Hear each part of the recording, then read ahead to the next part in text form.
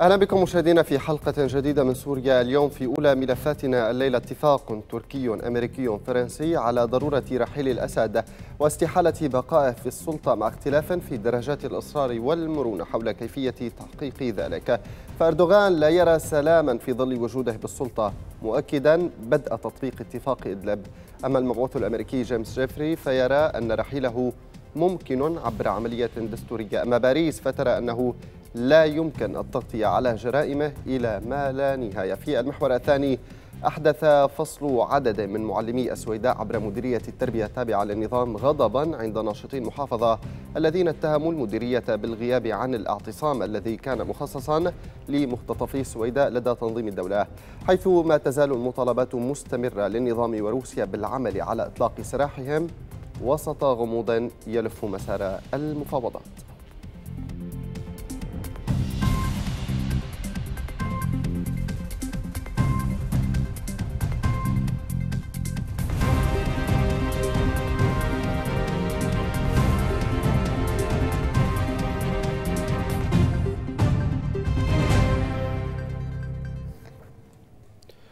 أعلن رئيس تركيا أن السلام في سوريا غير ممكن في ظل وجوده الأسد بالسلطة وأن من وصفهم بالمتطرفين بدأوا بالانسحاب من المنطقة منزوعة السلاح في إدلب وقال الرئيس الفرنسي إنه لا يمكن التغطية على جرائم الأسد إلى ما لا نهاية فيما اعتبر اعتبر المبعوث الأمريكي إلى سوريا جيمس جيفري أن رحيل الأسد ممكن عبر عملية دستورية.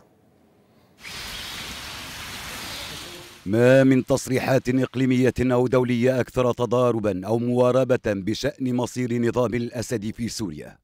ويستمر الغموض والضبابية بشأن هذه المواقف المتقلبة التي تترك الباب مواربا ما بين الرحيل وعدم الرحيل. وقد تكون واشنطن أكثر ترددا وغموضا في موقفها هذا. فالقضاء على تنظيم الدولة هو أولوية وجودها في سوريا ثم يليه إخراج القوات الإيرانية. وذاك ما صرح به المبعوث الأمريكي الخاص إلى سوريا جيمس جيفري في حديثه للشرق الأوسط. بل واعتبر أن إزاحة رأس النظام أمر ممكن عبر عملية دستورية وبدت تصريحات جيفري خجولة غير حاسمة بشأن مصير نظام الأسد. La responsabilité de la paix. وعلى العكس من ذلك ظهرت باريس أكثر وضوحا من واشنطن في رفع سقف تصريحاتها في هذا الخصوص وأعرب الرئيس الفرنسي إيمانويل ماكرون في اجتماع الجمعية العمومية للأمم المتحدة عن أسفه لما تعرض إليه الشعب السوري وأضاف أنه لا يمكن تغطية جرائم الأسد من خلال بقائه إلى ما لا نهاية وختم بالقول يوما ما ستتم محاسبته أما الرئيس التركي والذي خرج أثناء كلمة ترامب من الجمعية العمومية ولا يعرف ما إذا كان خروجه نابعا من حدة المواقف بين البلدين أو أنه كان يهم لتجهيز كلمته التي تأتي بعد كلمة ترامب مباشرة. بكل الأحوال فإن إردوغان قال صراحة بأنه لا يمكن تحقيق السلام في سوريا في ظل استمرار الأسد في السلطة كما وعرج على اتفاق سوتشي الذي تم التوقيع عليه مع نظيره الروسي فلاديمير بوتين في السابع عشر من الشهر الحالي.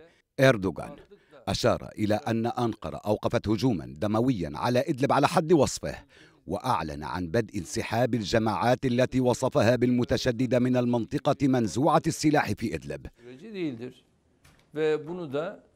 وهذا ما يفسر صدور بيانات عن بعض الفصائل في مدينة إدلب.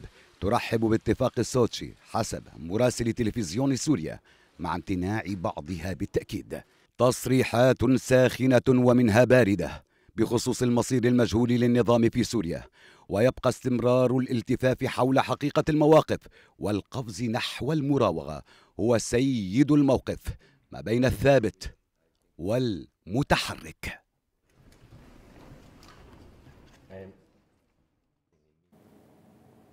لمتابعة هذا الموضوع معنا في الاستوديو المحلل السياسي المختص بالشأن التركي الدكتور سمير الحاج ومن أمستردام معنا عبر سكايب الكاتب والصحفي حافظ قرقوط أما من واشنطن معنا أستاذ العلوم السياسية في جامعة جورج واشنطن الدكتور نبيل ميخائيل. أبدأ معك دكتور سعيد مساء الخير أول شيء. الحديث هذه المرة عن رحيل الأسد أردوغان وإيمانويل ماكرون و المبعوث الأمريكي إلى سوريا جيمس جيفري ثلاثتهم تحدثوا عن ضرورة رحيل الأسد للانتقال إلى عبر عملية سياسية ومن ثم الانتقال إلى إلى أمور أخرى. كأنه الحديث عاد مرة أخرى عن رحيل الأسد. مساء الخير لك وللضيوف والمشاهدين. بطبيعة الحال الحديث حول نظام الأسد ليس متعلقا بسوريا المستقبلية بقدر ما هو الحقيقة ورقة تفاوض بين مختلف الأطراف. بمعنى بقاء الأسد بقي حتى الآن ورقة قوة أو انتصار أو تقدم لمحور سوريا روسيا وإيران بينما رحيله في أي فترة معينة سوف يعتبر يعني تقدما أو مكسبا للأطراف الأخرى. ولذلك حتى الآن لا يمكن القول أن روسيا وحتى إيران لا يمكن القول أنها ملتزمة جدا ومتمسكة بالأسد حتى نهاية المطاف بقدر ما هي متمسكة به في الفترة الحالية كدليل على تقدمها هي ميدانيا وعسكريا وبالتالي سياسيا في الملف السوري. لكن كلما اقتربت القضية السورية من نهاياتها بمعنى كلما اقترب الميدان من حل معين يمكن أن يمهد لحل سياسي معين. الكل يدرك أن العقدة الأساسية التي يمكن الحديث حولها هو مصير نظام الأسد أو ربما شخص الأسد بحد ذاته. في نهاية المطاف كل ما يتعلق بشكل الدولة ونظامها السياسي والبرلمان والدستور وما إلى ذلك هذا كل أمور تفصيلية ستحددها متفرعة. سيحددها الدستور واللجنة الدستورية. يمكن أن يعني يحددها الفرقاء المختلفون السوريون لكن في نهاية المطاف العقدة الأساسية بين مختلف الأطراف والتي أدت لكل هذه التداعيات في سوريا مدى سبع سنوات هي مصير نظام الأسد. حتى الآن التصلب الروسي موجود وهو متكئ على تقدم ميداني واضح جدا لكن بطبيعة الحال تدرك روسيا في نهاية المطاف أنها لا يمكن لها أن تحل أو أن تقدم حلا معينا للقضية السورية مستداما طويل الأمد مستقرا قابلا للحياة بمعزل عن الأطراف الأخرى. تحديدا الولايات المتحدة الأمريكية ومن هنا يأتي الحديث عن نظام الأسد. كلما اقتربت القضية من نهاياتها كلما اقترب الحديث حول هذا العنوان البارز. وأنا أعتقد أنه وأنا كتبت مقالا الأسبوع الماضي أسميته أخطاء حسابات نظام الأسد أنه على المدى البعيد ليس هناك من ضمان لهذا النظام أن روسيا ستبقى متمسكة به. على الأقل أتحدث عن شخص بشار الأسد ولا يتحدث عن النظام لأنه في نهاية المطاف يمكن إعادة الهيكلة يمكن اختيار شخصيات معينة إعادة قوله معينة لكن الأسد الآن هو مجرد ورقة ترفعها روسيا في وجه الأطراف الأخرى ورقة على طاولة التفاوض. إذا ما أرادت أن تتخلى عنها ينبغي على الأطراف الأخرى بالمنطق الروسي أن تقدم لها ثمنا يقابل هذه الورقة. طيب هل لا زال فعلا سيد حافظ ضيفي من أمستردام هل لا زال الأسد ورقة رابحة بيد الروس أم سيتنازلون عنها آجلا أم عاجلا كما قال الدكتور سعيد؟ ولكن متى يمكن التنازل عنها؟ وهل الوقت مناسب أصلا عن الحديث للحديث عن رحيل الأسد برأيك؟ تحية لك ولضيوفك ولمشاهديك مناسب أقصد يعني, يعني يجني ثماره ولا أقصد بأنه يعني رحيل الأسد مناسب أم لا؟ طبعا طبعا. يعني حاليا الوضع الراهن بسوريا العسكري والسياسي ما زال الأسد هو حاجة ملحة لروسيا على الرغم من أنه هو ورقة خاسرة حتى الآن. بجميع المقاييس لكنه كون السلطة محسوبة عليه هو ما زال حتى هذه اللحظة الورقة الروسية الرابحة والورقة الإيرانية. بالنسبة لإيران هي لا يمكن أن تعيش إلا على الخراب إن كان في سوريا أو العراق أو في لبنان أو اليمن أو أي منطقة أخرى. النظام الإيراني تماما كما الصهيونية العالمية عمليا هكذا هي. آه، لا يمكن أن تعيش إلا ضمن بيئة خراب وليس ضمن بيئة سلام.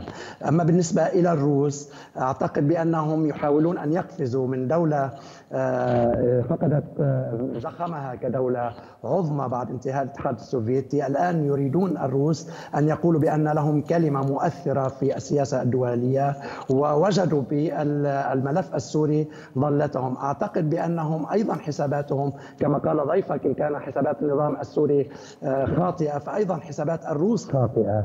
لا يمكن في هذه المنطقة الحرجة من العالم أن ينفرد الروس لا بحل سياسي ولا بحل عسكري. وهذه المنطقة الحرجة هي منطقة حروب تاريخية بسبب الإمبراطوريات وتمددها عبر قرون سابقة عديدة.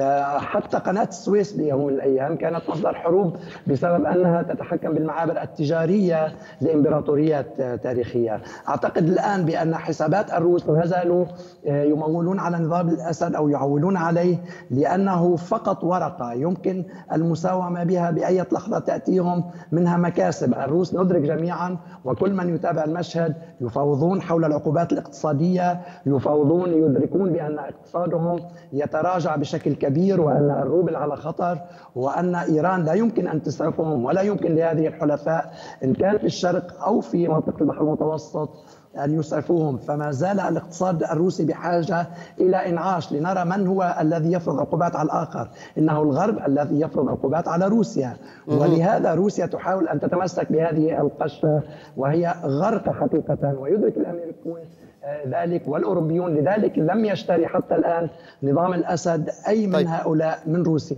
طيب. معتقدين دعنا نرى نرى وجهة النظر الأمريكية حول هذا الموضوع لأنه جيمس جيفري أيضا المبعوث الأمريكي إلى سوريا تحدث في موضوع أنه رحيل الأسد كما رحل المالكي وما إلى ذلك من هذا الكلام في السابق دكتور نبيل ميخائيل كان الحديث من قبل الأمريكان بانه بقاء جنودهم في سوريا مرتبط برحيل الايرانيين، اليوم أصبح بقاء الجنود مرتبط برحيل الإيرانيين اولا ومن ثم الأسد عبر عملية دستورية. لو تشرح لنا هذه النقاط.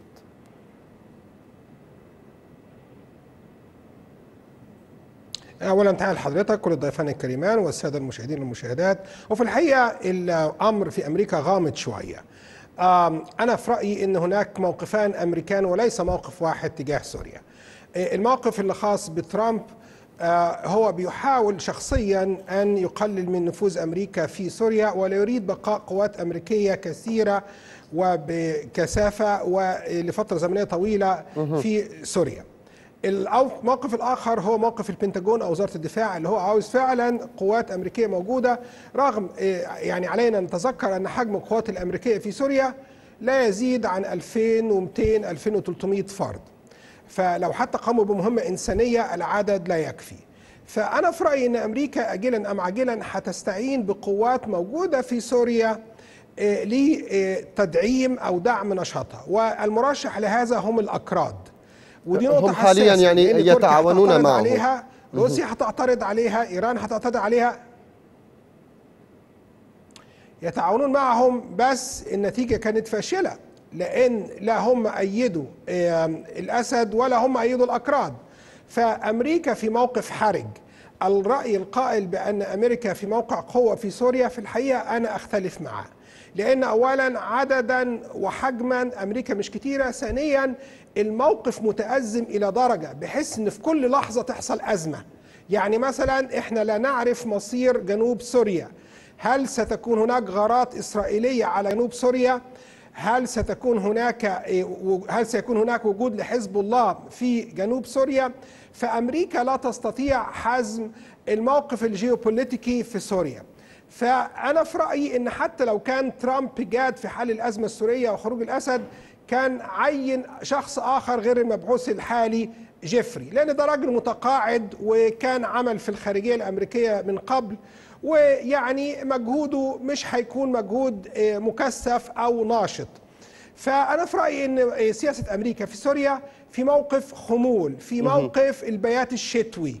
هي آه، بتنتظر معركة إدلب. هي بتنتظر التحركات والمشاورات ما بين الثلاثي روحاني انتهت الآن. يعني و اليوم عندما و عندما يتم الحديث عن عن آه، أدلب في نفس الوقت أيضا دكتور سعيد نعم. عندما يتم الحديث آه، اليوم عن أدلب والحديث عن عملية رحيل الأسد بالنسبة للرئيس التركي رجب طيب أردوغان ما الخيارات الموجودة على الأرض أصلا للحديث عن رحيل الأسد خصوصا بعدما اتضحت معالم الصراع وتقريبا ارتسم ما يشبه الحدود بين الأراضي السورية. مناطق تخضع لسيطرة الجيش الحر المدعوم تركيا في الشمال الغربي. مناطق تخضع لسيطرة قوات سوريا الديمقراطية المدعومة مباشرة مباشرة من أمريكا في الشمال الشرقي وباقي المناطق بيد النظام السوري المدعوم روسيا أساسا وسوريا المفيدة. يعني الحقيقة هذا يدفعنا للمرور سريعا على الأولويات التركية في سوريا. الأولوية التركية الأولى هي منع إنشاء كيان سياسي معين يحكم حزب الاتحاد الديمقراطي الأذرع العسكرية. وحدات الحماية أقوات سوريا الديمقراطية وما إلى ذلك.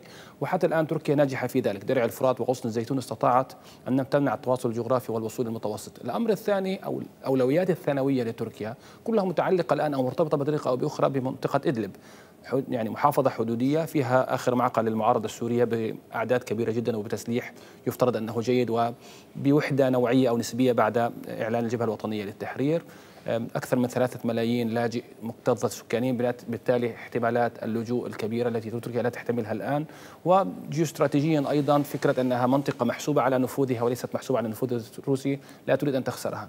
تركيا صحيح في الاتفاق مع بوتين في مذكرة تفاهم سوتشي استطاعت أن تجنب هذه المنطقة هذه العملية العسكرية لكنها أنا باعتقادي هو تأجيل مؤقت لهذه العملية وليس إلغاء تماما لها لأنه في نهاية المطاف البنود التي أعلنت في مذكرة التفاهم والجدول الزمني الذي أعلن يعني أنها مجرد تمديد للمهلة المعطاة لتركيا لحل مشكلة مثلا هيئة تحرير الشام والمجموعات المصنفة إرهابية أو راديكالية. لكن على الأقل على الأقل مؤقتا تركيا لا تريد سيطرة النظام على إدلب قبل الجلوس إلى طاولة التفاوض والحديث عن مستقبل سوريا وما إلى ذلك. هذه أيضا ورقة قوة بيد تركيا.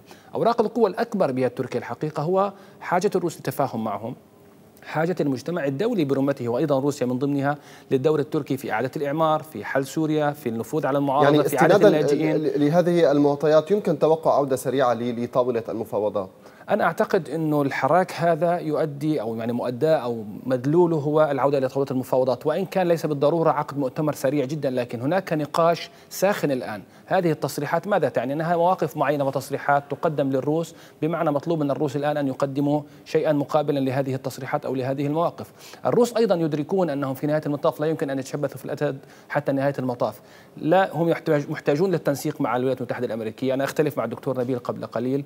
السيطرة وقال قال جيمس جيفري بأنه نحن سننسق مع روسيا لإخراج الإيرانيين وإزاحة الأسد بالحرف هيك أنا أعتقد أنه حتى الآن الولايات المتحدة الأمريكية قادرة على تحقيق الجزء الأكبر من استراتيجيتها وأهدافها في سوريا. على الأقل هي موجودة في الجزء النافع الاقتصادي من سوريا في شرق الفرات لديها حلفاء ميدانيين.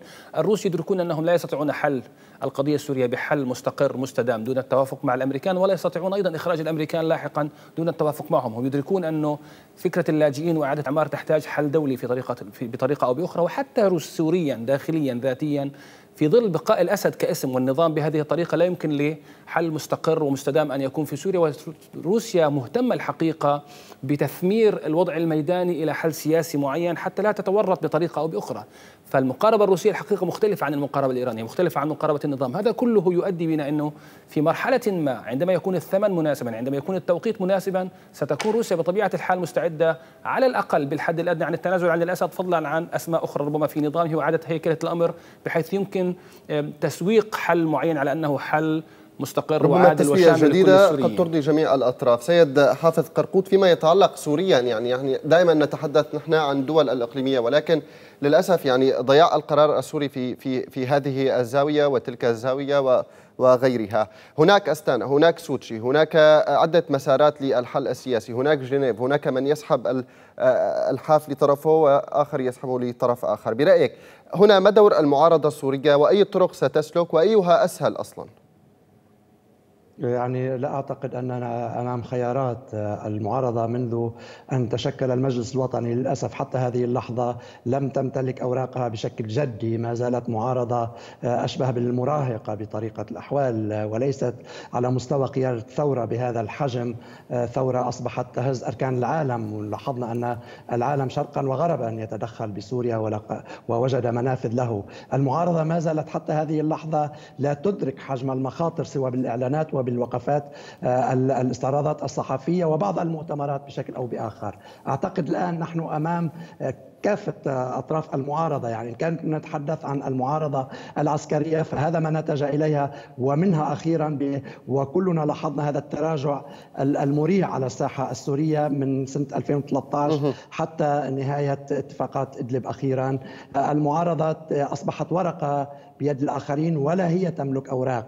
يعني رغم أن قال ضيفك أن هنالك عدد كبير من المقاتلين في إدلب وعدد كبير وهنالك تسليح قد يكون جزء منه نوعي أيضا ندرك بأن بعض المناطق أيضا كان هنالك أسلحة وسلمت بمخازنها. بأحياء حلب الشرقية سلمت مخازن كاملة. وحتى الأتراك انزعجوا طيب. أعتقد من تسليم هذا هذا سابقا يعني وفق وفق رؤيتك وتقديرك ومتابعتك سيد حافظ لمجريات الأحداث منذ بداية الثورة إلى الآن والحديث عن حلول سياسية. يعني إلى أي حد هناك إمكانية للدخول في تسوية سياسية اليوم بين المعارضة من طرف والنظام السوري من طرف؟ يعني أنت تتكلم مع نظام يمكن أن يودي بنفسه إلى إلى إلى الهاوية يعني عندما يتم الحديث عن تسوية سياسية يعني بأن النظام السوري ربما قد يسلم نفسه إلى محاكم الجنايات الدولية مستقبلا هل بهذه السهولة هذا الموضوع؟ لا طبعا النظام يدرك وكلنا ندرك بأن النظام لا يمكن أن يذهب إلى أي حل سياسي مهما كان شكله هذا الحل السياسي. حتى لو قدمت ضمانات روسية أو غيرها بعدم ذهاب بشار الأسد إلى المحاكمة هو يدرك بأن انتهاء وجوده كنظام وراء السلطة يمسك هذه الأوراق بسوريا ستنتهي. لذلك النظام وهو من خلفه إيران على الأقل.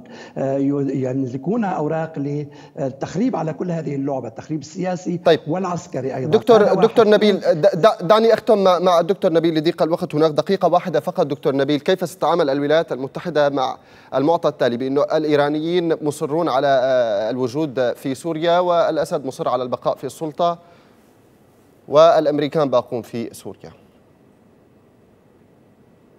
اولا اولا منع إسرائيل من القيام بأي هجمات مباغتة ضد سوريا.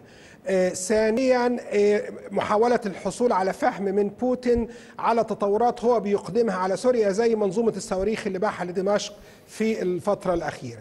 ثالثا تكثيف عمليات التخابر والاستطلاع فوق الأراضي السورية ولمعرفة مدى نشاط الإيرانيين ومدى حجم هروب المسلحين.